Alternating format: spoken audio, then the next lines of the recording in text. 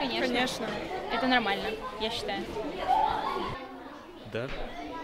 Ну, я считаю это не очень корректным, потому что все-таки должен больше задействовать парень, а не девушка.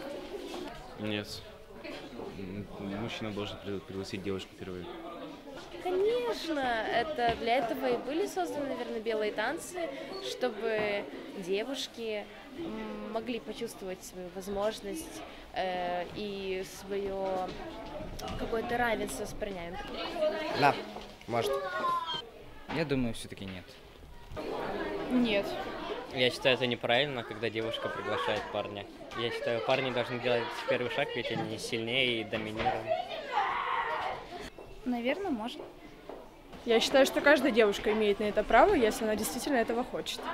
Ну, даже не знаю, честно. Думаю, да.